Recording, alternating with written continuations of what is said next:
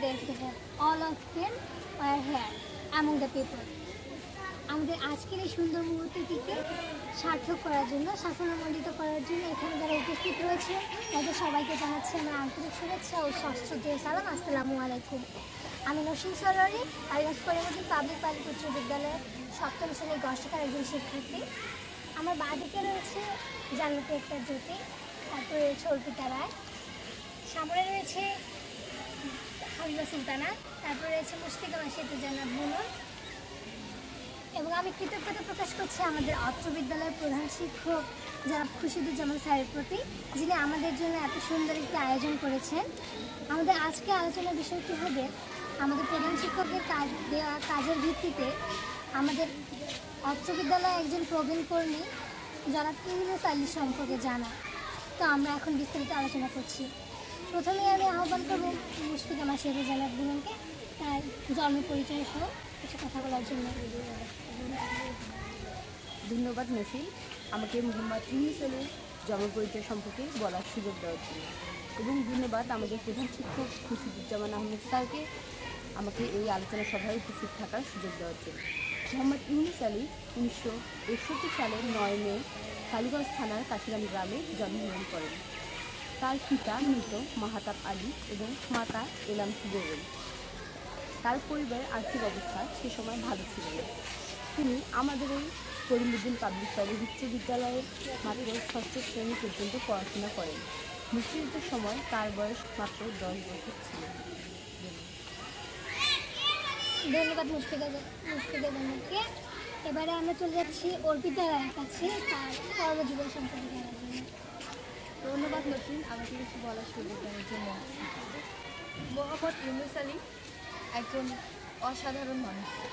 তার মতো একজন ব্যক্তিকে আমরা পেয়ে খুবই আনন্দিত। মোহাম্মদ ইউনুস আলী উনিশশো ছিয়াশি সালের ছ March Kalganj Karimuddin public public উচ্চ বিদ্যালয়ে আলহাজ করিমুদ্দিন আহমেদের মাধ্যমে যোগদান করেন। তার যোগদানপত্র, সনদপত্র সব ডকুমেন্টারি সঠিক ছিল। যোগদানকালে তার বয়স ছিল মাত্র বাইশ বছর।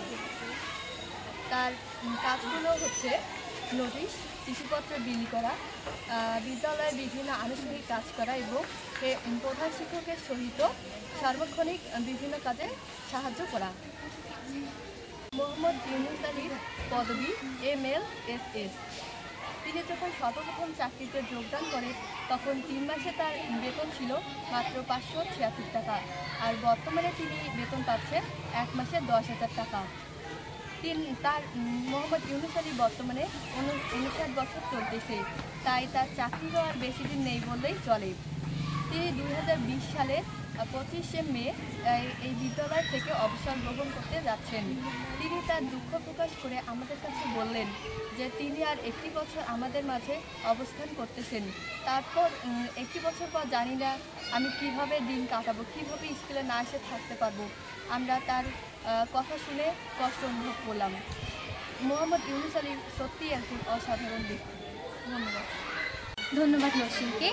কালীগঞ্জ করিমুদ্দিন পাবলিক কলেজ উচ্চ বিদ্যালয়ে জনাব ইউনুস আলী ছত্রিশ বছর ধরে কাজ করছেন। এই ছত্রিশ বছরে তার অনেক অভিজ্ঞতা হয়েছে। জনাব ইউনুস আলী যখন কালীগঞ্জ করিমুদ্দিন পাবলিক উচ্চ- বিদ্যালয়ে যোগদান করেন, তখন এই বিদ্যালয়ের প্রথম প্রধান শিক্ষক ছিলেন জনাব আকরাম আলী মিয়া এবং দ্বিতীয় প্রধান শিক্ষক ছিলেন জনাব মাহবুব স্যার। জনাব ইউনুস আলী থাকাকালীন এই বিদ্যালয়ে তৃতীয় প্রধান শিক্ষক হলেন জনাব মহেন্দ্র স্যার। জনাব ইউনুস আলী দেখেছেন মহেন্দ্র স্যার এমন একজন ব্যক্তি ছিলেন যিনি প্রতিটি ক্লাস নেওয়ায় সমান পারদর্শী ছিলেন। বলতে হয় he was a vast learn man and he was also a allrounder person অন্যদিকে, কালীগঞ্জ করিমুদ্দিন পাবলিক পাইলট উচ্চ বিদ্যালয়ে কারিগরি ভোকেশনাল শিক্ষা এবং এসএসসি বাংলাদেশ উন্মুক্ত শিক্ষা জনাব মহেন্দ্র স্যার চালু করেন, যা জনাব ইউনুস আলী উপভোগ করেন। বর্তমান যিনি প্রধান শিক্ষক, তার সময়ে ছাত্র শিক্ষক কয়েকবার বিদেশ সফর করার সুযোগ পেয়েছেন। তিনি প্রথমবার ছাত্রছাত্রীদের মাঝে কম্পিউটারের ব্যবহার এবং ডিজিটাল ক্লাস নেওয়ার সুযোগ করে দিয়েছেন। জনাব ইউনুস আলী বললেন, তিনি বলতে হয় কি our head teacher is our inspiration he inspires us in various matter he is a symbol of our ideal he first largest in our school multimedia classes and he first largest digitalise system in our school তিনি আরও বললেন our head teacher is the persuasive of শিক্ষাঞ্চল Kaliganj that's all আমরা তার জীবন বৃত্তান্ত শুরু থেকে শেষ পর্যন্ত জানলাম। এবার আমাদের সময় এসেছে, বিদায় নেবার তো আমরা আমাদের আলোচনাকে আজকে এখানে শেষ করছি। ধন্যবাদ সবাইকে।